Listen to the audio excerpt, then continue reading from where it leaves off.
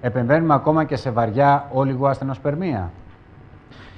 Ε, η εικόνα που έχει πάνω δεξιά δείχνει πάλι τα σπερματοζωάρια που είναι χρωματισμένα επειδή έχουν πρόβλημα στον κατακαιρματισμό της χρωματίνης. Η μελέτη πάλι 2010 φροντίζουν να έχουμε τις τελευταίες μελέτες οι οποίες πραγματικά αλλάζουν το τοπίο σε σχέση με το τι λεγόταν μέχρι τώρα. Δείχνουν ότι σε άνδρες με τερατοζωοσπερμία ή άσθενο τερατοζωοσπερμία ε, είχαν υψηλότερο ποσοστό κατακαιρματισμού συγκριτικά με σπέρμα από άνδρες που φυσικά είχαν ε, πετύχει γονιμοποίηση, δεν είχαν επηρεασμένες παραμέτρους σπέρματος και είχαν όλοι άσθενο τερατοζωοσπερμία. Άρα φαίνεται πως αυτή η διαφορά, ο κατακαιρματισμός χρωματίνης μας δίνει πολλά στοιχεία και διαφοροποιεί λίγο τον πληθυσμό. Ε, γιατί θέλουμε το σπέρμα μας να είναι καλό; Δεν είναι το πάνω απλά να βρούμε σπερματοζωάρια. Τελικά το DNA παίζει πάρα πολύ μεγάλο ρόλο προφανώς. Μια μελέτη που έγινε από την ομάδα του κ. Ταρλατζή, ε, χωρίσανε τους, ε, τα περιστατικά της εξωσωματικής σε πέντε διαφορετικές ομάδες. Βλέπετε στην πρώτη ομάδα είναι άνδρες, χρησιμοποιήθηκε σπέρμα από άνδρες που δεν είχαν επηρεασμένες παραμέτρους, είχαν ήπια ΟΑΤ, είχαν σοβαρή ΟΑΤ, με FNA είχαν πάλι σπερματοζωάρι, όλη άστενο τερατοζωοσπερμία. Ευχαριστώ. Και υπήρχε μία αποφυλακτική ζωοσπερμία και χρησιμοποιήθηκαν σπερματοζωάρια από, ε, με τέζα με βιοψία. Η ηλικία της γυναίκας βλέπετε ότι ήταν εντάξει, δεν υπήρχε δεδίκη παράγοντας στη γυναίκα. Δείτε όμως σε σχέση με τα έμβρια. Ε, δεν έβαλα τα ενδιάμεσα στοιχεία, τα αποτελέσματα, απλά κράτησα τα δύο εντυπωσιακά αποτελέσματα. Είναι πόσα από αυτά τα έμβρια διαρρέθηκαν, δηλαδή ενώθηκε το άριο με το σπερματοζωάριο, ε, με τη μικρογονιμοποίηση, πόσα από αυτά την επόμενη μέρα είχαν δύο προπυρήνες μέσα και άρχιζε η εξέλιξη. Δείτε τη διαφορά στα ποσοστά. Και το πιο εντυπωσιακό, η βλαστοκίστη, δηλαδή το έμβριο όταν έχει φτάσει την πέμπτη μέρα, ε, Συνήθως τα έμβρια τοποθετούνται πίσω την τρίτη μέρα. Ε, Όμως, σε πάρα πολλές περιπτώσεις, επειδή θέλουμε να σιγουρέψουμε ότι όντως το έμβριο έχει μία δυναμική και ότι θα πάει καλά αφού τοποθετηθεί πίσω στη μήτρα, περιμένουμε μέχρι το στάδιο της βλαστοκίστη. Βλέπετε τη διαφορά. Στατιστικά σημαντικό. Άρα η απάντηση είναι ότι δεν μας αρκεί απλά σπερματοζωάρια, μας αρκούν καλής ποιότητας σπερματοζωάρια, γιατί αυτά θα δώσουν έμβρια και θα δώσουν περισσότερη γονιμοποίηση. Και αυτό εξηγεί και τις μάλλον και τις μελέτες που λέγαμε πριν το 2011 που ήταν και οι δύο, ότι τελικά η κυρσοκύλη φαίνεται όταν χειρουργηθεί ότι μας απαλλάσσει από κάποιο παράγοντα και τα σπερματοζώα προκύπτουν έχουν καλύτερα ποσοστά ε, στην εγκυμοσύνη και, στην, ε, ε, και σε γένες. Και ένα πολύ εντυπωσιακό, ότι πολλές φορές σε αζωσπερμικού η εφαίρεση κυρσοκύλης μετά από 6 μήνες βέβαια μπορεί να μας δώσει σπερματοζωάρια, Όμως έχει αναφερθεί σε ένα πολύ μεγάλο ποσοστό μετά από 12 μήνες ξανεπιστρέφουμε στην αζωσπερμία. Δεν νομίζω, δεν προτείνεται για ποιον λόγο, δεν εξηγείται, αλλά αυτό προτείνεται είναι ότι σίγουρα όταν δείτε σπερματοζωάρια, μην, ε, δεν ελπίζουμε πάντα σε τέτοιες περιπτώσεις αζωσπερμία ότι σίγουρα όρθια θα συνεχίσει να παράγει πάντα. Οπότε είναι καλό να καταψυχθεί ό,τι βρεθεί. Νομίζω ότι οι περισσότεροι ουρολόγοι εκ των πραγμάτων στους 6 μήνες ζητάτε σπερμοδιάγραμμα. Αν βρεθούν σπερματοζωάρια, σε αυτές τις περιπτώσεις είναι πολύ χρήσιμο να καταψυχθεί το δείγμα γιατί δεν ξέρουμε τι θα γίνει μετά.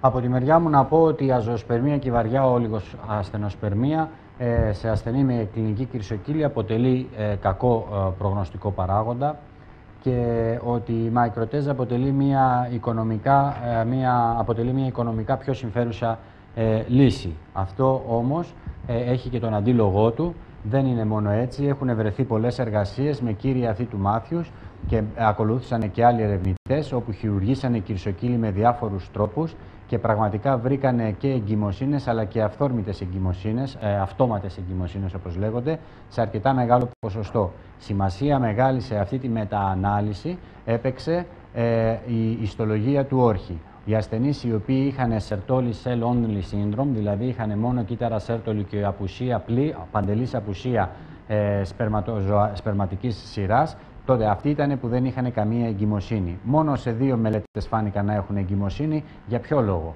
Μα για το λόγο του ότι αν πάρουμε εμείς ένα κομμάτι από τον όρχη, η βιοψία κατά την χειρουργία της κυρσοκύλης, αυτό δεν αντιπροσωπεύει όλο τον όρχη. Θα υπάρξουν κάποιες, μπορεί εκείνο και το συγκεκριμένο κομμάτι να έχει σερτόλι cell only σύνδρομο, αλλά μπορεί το αμέσως γειτονικό κομμάτι να μην έχει. Αυτός είναι ο λόγος που όταν κάνουμε βιοψία του όρχη παίρνουμε τουλάχιστον τρεις βιοψίες από τρία διαφορετικά σημεία. Και όταν λέω τουλάχιστον, γιατί μπορούμε να πάρουμε πολύ περισσότερα. Και αυτή είναι και η ένδειξη της Ευρωπαϊκής Ένωσης. Πόσοι από εσάς έχετε εμπειρία, κάνετε διαγνωστική βιοψία του όρχη, έχετε κάνει; Ένας μόνο; Κανένας άλλος δεν έχει κάνει βιοψία όρχη. Διαγνωστική είναι. Για να βγάλετε τι έχει αυτός ο άνθρωπος, θα του κάνω μία βιοψία του όρχη. Για ζωοσπερμία, ναι. Κάτι, για οποιοδήποτε λόγο. Να του κάνετε μια βιοψία, ε, τι Για να έχει, δει ρε τι παιδιά. έχει. Ένας, δύο, τρεις, τέσσερις, πέντε, έξι, εφτά. Οκ. Δεν, δεν είναι καλό. Λοιπόν, έχει απαγορευτεί. δεν Μην είναι καλό ξανακάνετε. Να γίνεται. θα, θα πρέπει Έτσι. να το συνδυάσουμε Μην με ξανακάνετε. θεραπεία. Άμα δεν είναι για να δώσετε τα κομμάτια για να καταψυχθούν, έχει απαγορευτεί. Είναι στα, σε όλα τα recommendation πλέον και άμα υπάρχει κάποιο πρόβλημα και πάει σε κανέναν άλλο κακό συνάδελφο και του πεις σου τραυμάτισε τον όρχη και τώρα έχεις μικρότερες πιθανότητες που αυτό όντως ισχύει και έχει αποδειχθεί για να κάνεις παιδί, το δικαστήριο θα πάει όλα τα guidelines αμερικάνικης, ευρωπαϊκής, ουρολογικής, ανδρολογικής κτλ. ότι απαγορεύεται η διαγνωστική βιοψία του όχι. Παρά μόνο η θεραπευτική που σημαίνει παίρνω κομματάκια και τα δίνω για κατάψυξη. Έτσι. Έτσι, να σας προφυλάξουμε λίγο. Επομένως, ε, τι- επομένως, τι γίνεται με αυτή την κατάσταση, χειρουργούμε ή δεν χειρουργούμε σε βαριά όλιγο άσθενο σπερμία; Είναι το ερωτηματικό. Επομένως, εδώ πέρα είναι που μπαίνει ο ρόλος των ε, προγνωστικών παραγόντων. Και υπάρχουν προγνωστικοί παράγοντες για το μεταγχειρητικό αποτέλεσμα, ήταν η ερώτηση η αρχική του συναδέλφου. Απουσία, η μία υπάρχουν. Η μία είναι απουσία ορχικής ατροφίας. Δηλαδή, όταν δεν έχουμε ορχική ατροφία, είναι καλά τα πράγματα. Μάλλον θα πάμε καλά. Έχει φανεί ότι το 56% των ασθενών με φυσιολογικό μέγεθος όρχη είχαν επίτευξη εγκυμοσύνης, ενώ 33% αυτοί που υπολείπονταν όρχης. Δεύτερος παράγοντας είναι ο αρχικός ολικός αριθμός σπερματοζωαρίων. Εδώ πέρα τίθεται ένα μεγάλο ερωτηματικό, διότι εμείς δεν χειρουργούμε με 50 εκατομμύρια κυρσοκύλι. Εν πάση περιπτώσει, για αυτούς που χειρουργούν, οι συγκεκριμένοι προφανώς χειρούργησαν, αν και αυτή εδώ πέρα είναι μετανάλυση, δεν είναι ε, original, Δικό τους. start, δεν είναι δικό τους. Κάποιοι που χειρούργησαν είδαν ότι αυτοί που έχουν πάνω από 50 εκατομμύρια σπερματοζωάρια είχαν μεγαλύτερο ποσοστό εγκυμοσύνης. Διότι Α, υπήρχαν ουσιαστικά τι έγινε σε αυτές τις μελέτες, γιατί χειρουργήθηκαν αυτοί οι άντρε. Γιατί αυτοί οι άντρε είχαν φυσιολογικό σπέρμα, αλλά δεν κάναν παιδιά. Και είχαν και κυρσοκύλι. Τους χειρουργήσανε και, Και μπορέσανε και είδαν ότι αυτοί που είχαν πάνω από 50 εκατομμύρια τελικά πιάσανε, είχαν μεγαλύτερο ποσοστό εγκυμοσύνης. Και μάλλον βελτιώθηκε, ακριβώς αυτό αποδεικνύει ότι μάλλον βελτιώθηκε κάτι σε επίπεδο γενετικό σε αυτούς. Προφανώς. Τρίτο, πάλι εδώ είναι το αρχικό ποσοστό κινητικότητας σπερματοζωαρίων. Ασθενείς, σπάνιοι ασθενείς, οι οποίοι έχουν φυσιολογική κινητικότητα πριν το χειρουργείο, έχουν πολύ μεγαλύτερη πιθανότητα να κάνουν ε, ε, ε, εγκυμοσύνη από ότι ασθενείς οι οποίοι έχουν ε, χαμηλή κινητικότητα πριν το χειρουργείο. Αυτοί όμως οι ασθενείς είναι σπάνιοι. Συνήθως η κινητικότητα είναι η πρώτη που βάλετε μαζί με τον αριθμό. Αρχική συγκέντρωση FSH. Ε, αν λίγο να πούμε για την Παρακαλώ. κινητικότητα, ε, δεν ξέρω αν το έχετε παρακολουθήσει. Από το 2010 οι οδηγίες του Παγκόσμιου Οργανισμού Υγείας έχουν αλλάξει. Και εκτός ότι δεν υπάρχουν φυσιολογικές τιμές, αλλά υπάρχουν τιμές αναφοράς, οι καινούργιες τιμές αναφοράς μιλούν για κινητικότητα, καλή κινητικότητα, ή θα θέλαμε ο ασθενής μας να έχει πάνω από 40% κινητικότητα και φυσικά μιλάμε πάντα για την γρήγορη προωθητική κίνηση, την, μέση προ- την αργή προωθητική κίνηση. Άρα το 40 έχει σημασία λίγο αν το εργαστήριο με το οποίο συνεργάζεται, βλέπετε ότι έχει τις, ε, ε, σας δίνουν τα αποτελέσματα, μιλάει για αυτόν τον τρόπο με τον οποίο αξιολογείται η κινητικότητα, γιατί φαίνεται, θα το πω και παρακάτω, η κινητικότητα παίζει πάρα πολύ μεγάλο προγνωστικό παράγοντα. Η- Το ξαναλέμε. Εδώ πέρα υπάρχει ένα... Δηλαδή, επειδή είναι λίγο μπερδεμένο. Το καινούριο της WHO μπορείς να βγάλεις ό,τι θέλεις. Ναι, ναι. Το έχουν κάνει πολύ ωραία. Δηλαδή, είσαστε μαέστροι. Μπράβο, ό,τι και να κάνετε, είσαστε μια χαρά. Ό,τι και να λέτε, όλοι έχετε δίκιο. Χαίρομαι που Λοιπόν, μιλάτε στην WHO. προσπαθούσα να το διαβάσω και να το αναλύσω. Λοιπόν, δηλαδή, εγώ δεν κατέληξα άμα βάζεις τη γρήγορη και τη μέτρια ή άμα βάλεις και την... Ε, Αργή. να θυμηθείς. ναι. Δεν κατέληξα. Μάλλον μου φαίνεται ότι πρέπει να βάζεις το α και το β. Έτσι. Δηλαδή, ναι. Και, και για αυτά τα δύο. Δηλαδή, από ό,τι διάβασα και από ό,τι προσπάθησα να δω και να εντοπίσω, η οδηγία με, μου μεταφράστηκε εμένα μόνο γρήγορη και μέτρια. Τα άλλα τα αφήνεις έξω. Και αυτά πρέπει να είναι πάνω από 40%. Συ- ε, κατά, καλά το κατάλαβα ή Ναι, τελικά; ναι, ναι. Γιατί με επέδεψε πολύ. Ε, Και, και να κυριαρχεί γρήγορη, να είναι γύρω στο 25. Νομίζω Πάμε ότι γύρω αυτό στο είναι το 15. πιο σημαντικό. Ουσιαστικά το πόσα κινούνται ε, είναι ένας, είναι ένας δείκτης και το 40% αν μετράει και την αργή είναι πιθανότητα κάτι που δεν ισχύει γιατί ε, ουσιαστικά ε, αυτό που λέμε τιμές αναφοράς, ε, όπως είπατε, έχει να κάνει λίγο με το κατά πόσο ακριβά, ακριβώς μπορούμε να βάλουμε τα όρια. Όμως το μεγάλο στοίχημα, όπως θα δούμε και παρακάτω, έχει να κάνει και με την γρήγορη προθετική Μπράβο. κίνηση. Γιατί στο γρήγορο όμως κανένας σας δεν βάζει μέσα σε παρέθεση τιμές αναφοράς ότι να είναι πάνω από 25%. Κακός. Ε, να το βάζετε. Λοιπόν, συμπληρώστε το. Το πήραμε το μήνυμα.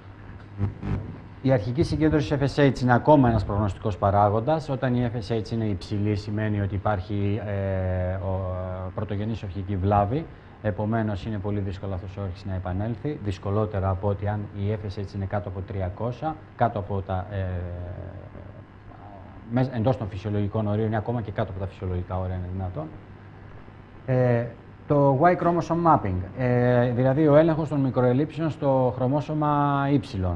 Ε, εδώ πέρα έχει βρεθεί ότι ε, οι ασθενείς με κυρσοκύλη έχουν πραγματικά αυξημένο ποσοστό ε, παρουσίας μικροελήψεων στο χρωμόσωμα Y και μιλάμε για τις μικροελήψεις στην περιοχή A του azoospermic factor AZF A, B και C, όπου μεγαλύτερη σημαντικότητα έχει ο παράγοντας A όταν ε, είναι είτε μόνιμα, είτε, όταν έχει είτε παντελής έλλειψη είτε μερική βλάβη και ο παράγοντας B όταν έχει μόνιμη ε, έλλειψη, ε, παντελή έλλειψη. Συγγνώμη. Αντίθετα, όταν έχει μερική έλλειψη ο B θα έχουμε ασθενοσπερμία, εκεί δεν έχει νόημα να χειρουργήσουμε κυρσοκύλη σε αυτές τις περιπτώσεις, όπως επίσης και όταν έχουμε και παντελή έλλειψη του παράγοντα micro deletion του παράγοντα C, του, της περιοχής C. Ούτε και έχει νόημα να χειρουργήσουμε την κυρσοκύλη, αλλού είναι τα αίτια, είναι γενετικά. Πάμε σε βιοψία όρχη ή σε εξωσωματική αν είναι ασθενοσπερμία. Βιοψία όρχη έχει νόημα να κάνουμε σε αζωοσπερμικό όταν ε, έχουμε μικροέλλειψη στον C, ολική ή μερική, ή, μικρο, ή μικροέλλειψη στον, στην περιοχή B, μερική. Αν έχουμε ολική στην περιοχή B και ολική ή μερική ολική στην περιοχή A, εκεί δεν έχει μεγάλη ένδειξη. Εκεί θα έλεγα ότι. Θεραπευτική. Επομένως, αν δούμε αζωοσπερμικ factor A, πλήρη έλλειψη, εκεί παραδίδουμε τα όπλα. Πάμε για δότη. Ξέρετε πώς είναι εξοικειωμένη η χαρτογράφηση του Ένας μόνο. Ωραία. Είναι κάτι το οποίο του χρόνου. Επόμενο... Του χρόνου στο φροντιστήριο έτσι. Η διερεύνηση του υπογόνιμου άνδρας. Όχι. Βιοψία. Συγγνώμη. Μικρά θέματα Μικρά να τα εξαντλούμε. Τώρα είδες, είναι δύο ώρες για την Κρυσοκύλη και πιστεύω ότι πολλά έχουμε μάθει έτσι που μας διέφευγαν. Όχι. Μικρά και επικεντρωμένα. Αυτά τα γενικά είναι ένα άλλο και δεν μπορούμε να πάρουμε μαζί μας.